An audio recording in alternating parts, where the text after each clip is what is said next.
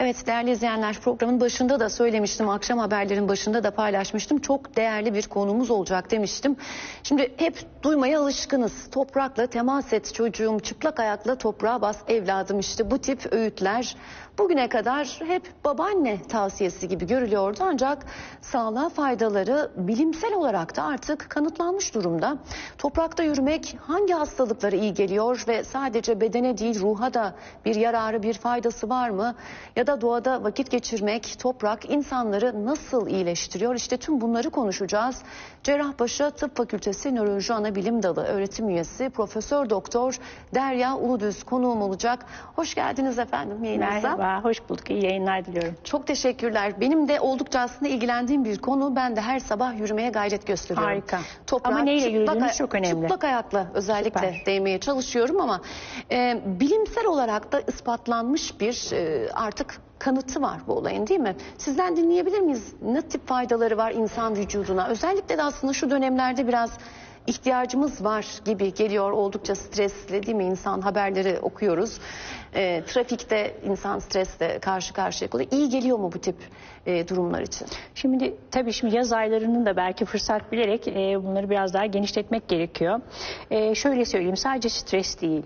Bakın biz teknoloji çağındayız. Yaşam bizim için çok değişti ve her tarafımız radyasyon, elektromanyetik dalgayla doldu. Bütün beslenme şeklimiz değişti. Artık hazır beslenir olduk ve sağlıksız besin tüketir olduk. Hiç hareket etmiyoruz değil mi? Bunların hepsi teknoloji çağıyla aslında bize gelmiş olumsuz e, sonuçlar. Peki neden bunları söylüyorum? E, vücudumuzun derinliklerine inelim isterseniz en başta. Vücudumuz atomlardan oluşuyor. Yani en küçük yapı taşı atom. Atom dediğimiz negatif ve pozitif iyonların bir araya getirildiği bir yapı taşı. Negatif ve pozitif iyonlar dengede olmak zorunda. Yani 10 tane negatif iyonunuz varsa 10 tane de pozitif olacak ki o atom, hücre, doku ve organlar sağlıklı Varlığını, olabilsin. evet, sürdürsün. Varlığını, yaşamını sürdürebilsin. Neden bunlar gerekli? Çünkü bizim bütün vücudumuzda aslında elektrokimyasal bir yapı var. Her tarafımız elektrik kablolarıyla dolu. İşte bunu da iletiyi sağlayan şey de bu negatif ve pozitif iyonlar. Şimdi bazı dışarıdan gelen zararlı faktörler ve bizim vücudumuzun ürettiği zararlı maddelerle bu negatif pozitif iyon dengesi maalesef ki bozuluyor. Ne demek istiyorum? En çok da bozan şey negatif iyonların eksilmesi. Negatif iyonlar eksildiğinde bizim atomumuz ya da hücremiz pozitif yükleniyor. Pozitif yüklenmesi demek tehlikeli ve zararlı bir hal alıyor demek. Bu pozitif yüklü maddeye biz serbest radikal diyoruz. Yani serbest radikal vücudumuz için zararlı bir madde haline geliyor. Aslında yaşlandırıcı bir etkisi de olduğunu ben Kesinlikle, biliyorum. Öyle değil mi kesinlikle. serbest radikallerin? Şimdi serbest radikaller nasıl oluşuyor peki vücudumuzda? Önce içeriden anlatalım nasıl oluştuğunu. Mesela siz bir besini alıyorsunuz. O besinden vücut enerji elde etmesi gerekiyor. Enerji elde etmek için yakıt bölgesi dediğimiz mitokondrilere gidiyor o besin ve mitokondrilerde yani yakıt kazan dairelerinde yakılıyor ve biz enerji üretiyoruz. Ama yakılırken de bir kısım kül dediğimiz çöpler ortaya çıkıyor. İşte o çöpler serbest radikaller. Artık onlar zararlı maddeler. Onların atılması gerekiyor. Ya da dışarıdan radyasyon, işte şu anda bulunduğumuz ortamdan gelen elektromanyetik dalgalar, e, ultraviyole ışıklar, sigara dumanı, egzoz dumanı gibi bir takım zararlı maddeler vücudumuza girdikleri anda nasıl giriyorlar bunlar? İşte nefesten, cildimizden, cildinize sürdüğünüz kremlerde bile değil mi? Bir Cep telefonlarının var. şarj edilme anları bile olabilir Kesinlikle, aslında değil mi? Hepsi elektromanyetik dalgalar ve radyasyon size Bilgisayar ekranı. Vücuda girdiği anda bu toksinler dediğimiz zararlı maddeler o e, atomdaki dokudaki negatif iyonları çekmek istiyorlar. Çünkü hepsi pozitif yüklüler. Yani şu anda etrafında gördüğüm bütün elektromanyetik dalgalar pozitif yüklü. Vücuda giriyor, negatif iyonlarımızı çekiyor. İşte o zaman negatif çekildiğinde serbest radikal dediğimiz o pozitif yüklü iyonlar vücudumuza zarar vermeye başlıyor. Serbest radikal diyor ki eyvah benim negatif iyonum gitti, benim iyon almam lazım. Hemen yanındaki diğer dokulara saldırıp iyon çekmeye çalışıyor. Dokulara saldırdığında da işte savaş orada başlıyor.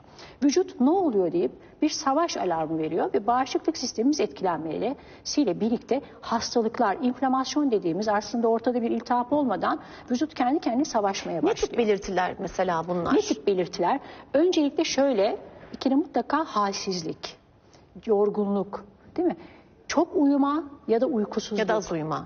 Çok uyuma ya da uykusuzluk. Yani dengenin bozulması genel Denge olarak tamamen bozuyor. Yani her dokuda bu elektriksel ya da enerji sistemi olduğunu düşünürseniz karaciğeriniz yoruluyor, kalbiniz yoruluyor, beyniniz yoruluyor, unutkanlıklar başlıyor, baş ağrıları başlıyor, vücut ağrıları başlıyor ve daha daha ileriki dönemlerde kalp hastalıkları, beyin felçleri, şeker, tansiyon gibi yani o inflamasyon olayının yol açtığı bütün hastalıklarla kanser gibi hastalıklarla baş başa kalıyorsunuz. Öyleyse tabii ki birçok sebebi var ama bu toksinler dediğimiz serbest radikalleri bir şekilde vücuttan atmamız gerekiyor. Bunun da iki yolu var. Ya bunlara tekrar o negatif iyonları alacaksınız. Nedir bu? Mesela bazı besinler vardır. İçinde çok negatif iyon vardır. Antioksidanlar diyoruz bunlara. İnternete girin antioksidan besinler de yazın bir sürü çıkar. Yani enginardan tutun, e, limondan çıkın, yeşil çaydan, beyaz çaydan çıkın bir sürü antioksidan besin var. Siz onları aldığınızda o negatif iyonlar içerdikleri için hemen atomlara, hücrelere negatif iyon vererek onları nötrleştirirler.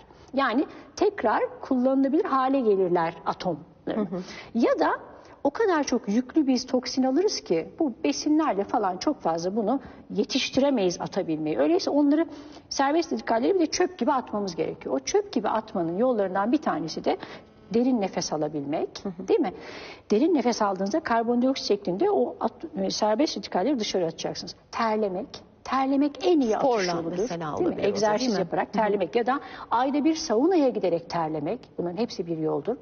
Üçüncüsü toksin atım sistemi dediğimiz lenf sistemimiz vardır vücutta. Lenf sistemini en iyi çalıştıran şey bol su içmektir. Bol su. Bol, su çok önemli. Aslında bu söylediğiniz şeyler her şeyin o Evet. kadar temelinde Evet. yarat- yer alıyor ki. Evet. Gıdamıza dikkat etmek, spor yapmak, Kesinlikle. bol su içmek. Kesinlikle. Bütün aslında hekimlerin Günde ki, kilo başına 30 mililitre su içmemiz lazım.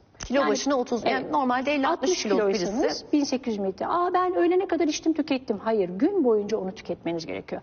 Lenf sistemi en iyi Yavaş yavaş. Evet. Artı zıplamak.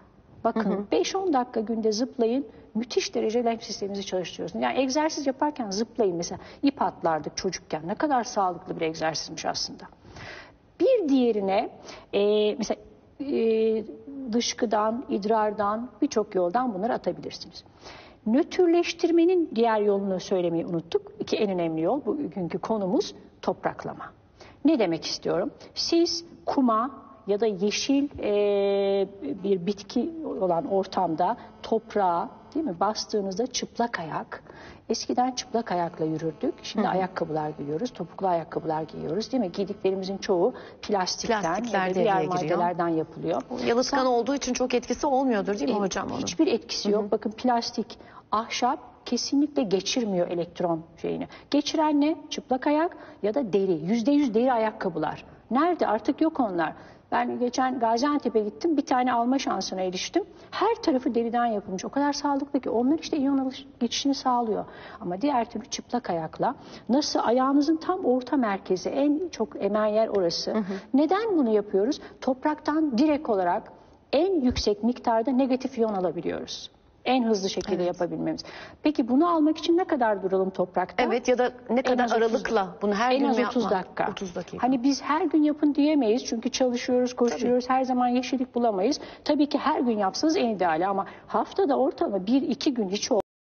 En az 30 dakika siz o toprağa bastığınızda aşağı yukarı bir saat içinde sizin o negatif iyonlarınız kanınıza geçecektir. Meditasyon gibi adeta değil mi? İnanılmaz Aslında o faydası var. Yani bunu- doğada bulunmanın da etkisi oluyor tabii. Kesinlikle yani bunu yapabilmek bizim vücudumuzdaki toksinleri, zararlı maddeleri, serbest radikalleri ortadan kaldırmanın en pratik yolu ve en doğal, en basit, en bedava yolu. Siz bunu yaptığınızda birçok hastalıktan da aslında kurtulmuş olacaksınız. Bir kere stresiniz çok azalıyor. Kortizol en büyük stres faktörü değil mi? Siz sinirlendiğinizde, stres yaptığınızda, heyecanlandığınızda vücutta kortizol yükseliyor. Kortizolün aslında bir sabah yükselmesini severiz. Normalde sabah yükselir. Niye? Çünkü sizi uykudan uyandırır, güne hazırlar, zinde bir halde güne başlamanızı sağlar. Ama kortizol gün içinde yükselmeye başladığında ne olur? Sizin uykunuzu engeller, hep sinirli ve anksiyeteli olmanıza sebep olur. İşte topraklama en güzel etkisi kortizolü inanılmaz düşürüyor. Yani sizi daha huzurlu, daha relax, daha mutlu ve uykunuzu daha kaliteli hale getiriyor. İşte o yüzdendir ki mesela tatile deniz kenarına gittiğimizde denizin kenarında ha, en güzeli de denizin içidir. Mesela tuzlu su Öyle mi? topraklamada inanılmaz yani çok daha fazla etki sağlıyor sonuçta. Tuzlu su iletkenliği olduğu için çok daha fazla etki sağlıyor. Denizin içinde yürüdüğünüzde 2-3 gün sonra kendinizi ne kadar iyi hissedersiniz değil mi? Sanki vücudunuzu resetlemiş, Yeniden doğmuş gibi. hissedersiniz. Evet. İşte çok çok önemli bir şeydir bu. Yani bunu yapabilsek aslında çok şeyi engellemiş oluyoruz. İşte kalp hastalığı, inflamasyon.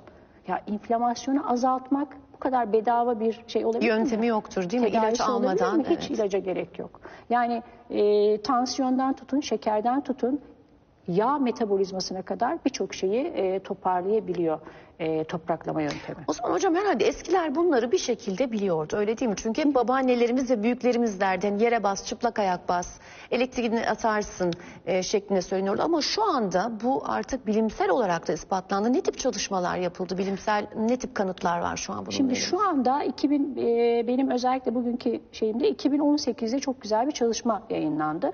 Burada e, yaklaşık 15 bin kadar insan üzerinde yapılmış bir çalışma bu. Birkaç alt parametresine bakmışlar. Mesela uykuyla alakalı Amerika'da ne değişti? yapılan bir çalışma yurt, mı yurt dışı, yurt dışı kaynaklı. Mesela uykuyla alakalı ne değişti? Sadece dışarıda çıkın, topraklanmayla, çıplak ayakla yürüyün gibi bir şart koymayalım. Burada bir takım malzemeler de var ki topraklanmayı sağlayan. Mesela topraklanmayı sağlayan çarşaflar bile var. Topraklanmayı sağlayan halılar var. Yani siz bilgisayarda çalışırken ayağınızın altına o halıyı koyun topraklanmayı sağlıyor. İşte bu çalışmalarda da bunlar kullanılmış. Mesela öyle bir çarşafla ya da öyle bir yatak matraşla yatan e, kişilerle normal yatan kişiler arasındaki uyku düzeni ve stres faktörüne bakılmış mesela. İnanılmaz düşü, düştüğü görülmüş. Yani e, yapılan bilimsel çalışmalar da artık anneannelerimizin söylediğinin ne kadar doğru olduğunu bize gerçekten göstermiş oluyor. Hani hadi gelin köyümüze geri dönelim sözüne biz e, teknoloji ilerledikçe yavaş yavaş dönmemiz gerektiğini farkına varıyoruz aslında. Yani bu çalışmalar e, çok değerli bizim bilim camiasında da. Şimdi uyku için de iyi geldiğini söylediniz. Sadece yetişkinler için mi yoksa çocuklar, için Çocuklar de için de. uygulanabilecek bir e, yöntem olduğu için sormak gereği hissediyorum. Bir anne olduğum için de yine sormak istiyorum. Çocuklar için etkisi nasıl olur? Kesinlikle bakın çocuklar üzerinde en önemli etkisi strese karşı. Yani e, ben çok iyi hatırlıyorum. E, benim anneannem biz çocuktuk. İşte seni, seni bir toprakta gezdirmek lazım bir köye götüreyim biraz rahatlatayım derdi. O kadar doğru söylüyormuş ki. Yani çocukların o stres faktörünün çünkü kortizol büyümeyi de engeller, engelleyen bir faktör. Öğrenmeyi de engelleyen. Yani çok fazla yüksek olması bunları da sebebiyet verebiliyor. E şimdi şu anki çocuklarımızın yaşam şekline bakın. Bir kapalı ortamda iPad'lerle, bilgisayarlarla Bilgisayarlar karşısında ya da televizyon karşısında. Akıllı binalarda Evet. yaşadıkları. Bakın Aslında tek çocuklar değil bizler de çok Evet, farklı ama çocukların hocam. büyümesinde bu çok önemli. Çok önemli bir yer alıyor. Öyleyse aslında biz kendimizden çok belki de çocuklarımız için bu tip faaliyetleri yapmalıyız. Yani o açık havadaki e, topraklama olayını en çok aslında çocuklarımız için yapmalıyız. Yüksek binalar, yüksek katlı akıllı binalar son derece sağlıksız. Sizin topraktan uzaklaşma seviyeniz yükseldikçe elektriksel e, dezavantajınız artıyor. Artıyor. Hastalık. Mesela çok uçuş yapan, çok seyahat eden insanların topraklanması az olduğu için çok daha fazla hastalığa e, risk taşıyorlar. Yani toprağa yakın olmamız lazım. Topraktan ayrılmamamız lazım. Son birkaç dakikamıza girdik ama şunu da merak ediyorum. Şimdi tüm izleyicilerimiz elbette fırsat bulamayabilir. Ee, çıplak ayakla her gün yere basmaya ya da günde yarım saat ayırmaya. Bir Başka yerde yöntemler okumuştum. Evet, neler? başka yöntemler var. Mesela bir ağaca sarılmak diye okumuştum ben daha önceden. Yine aynı etkiyi yaratır mı? Hayır. Şimdi şöyle söyleyeyim. Burada en şey e, avuç içiniz. Tamam ağaca dokunabilirsiniz. Topraktan e, tahtadan topraktan tahtaya, tahtadan size geçmez. Tahta iletken değildir elektrik e, akımında. Ama ne yapabilirsiniz? Tekrar söyleyelim. Vücuttaki serbest radikal dediğimiz bu zararlı maddeleri atmanın yolu sadece çıplak ayak yürümek değildir. O en etkili ve en kestirme yoludur. Ama burada günde 5-10 dakika zıplayın. Bol su için az önce söylediğim şeyleri de yapabilirsiniz. Ya da her yerde satılıyor. İnternete girin o kadar kolay bulacaksınız ki o topraklanma halıları dediğimiz çok küçük, çok pratik halılar var. Oturduğunuz yerde masa başında ayağınızın altına çıkarın ayakkabılarınızı. Ayakkabıyla olmaz. Hele ki topuklu ayakkabıyla hiç olmaz. Çıplak Çıplak, ayak ayakla ona basın. Yani pratik yöntemleri var. Sağlıklı beslenin tabii. Çünkü siz eğer vücuda kaliteli bir yağ alırsanız yani fuel dediğimiz benzin alırsanız kaliteli benzin oradaki pisliklerin de az çıkmasına sebep olacaktır. Yani sağlıklı beslenmek son derece önemli. Yani yapılacak pratik şeyler var ama yapabiliyorsanız lütfen en azından hafta sonları bu zor bir şey değil, yapamıyoruz da demeyin. Hafta sonları bir e, doğada, açık havada Doğanın vakit geçirmek olmak şart. çok çok önemli. Efendim çok teşekkür ediyoruz. Ben, de teşekkür çok ediyorum. ilgilendiğim için çok fazla belki soru sormuş olabilirim ama izleyicilerimize de oldukça faydalı olduğunu düşünüyorum. Değerli izleyenler, Cerrahpaşa Tıp Fakültesi Nöroloji Anabilim Dalı öğretim üyesi Profesör Doktor Derya Uludüz konuğum oldu. Akşam haberlerine birazdan devam edeceğiz.